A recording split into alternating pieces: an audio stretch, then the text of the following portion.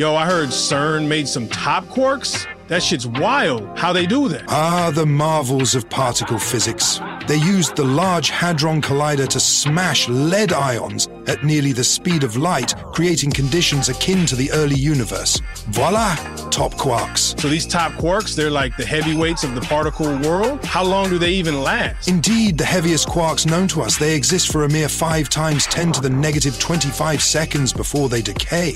A fleeting glimpse into the fundamental nature of matter. Damn, that's shorter than the TikTok video. So what's the big deal about seeing them? It's monumental. Observing top quarks helps us understand the quark gluon plasma mimicking conditions from moments after the Big Bang. It's like looking back in time, my friend. That's crazy, like time traveling with particles. So this could tell us more about how the universe started? Precisely. It's a window into the very fabric of the cosmos, offering insights into the forces and matter that shaped our existence. A true revolution in physics. Shit, that's mind blowing. Indeed. Follow if you want to know more, and as always, thanks for watching.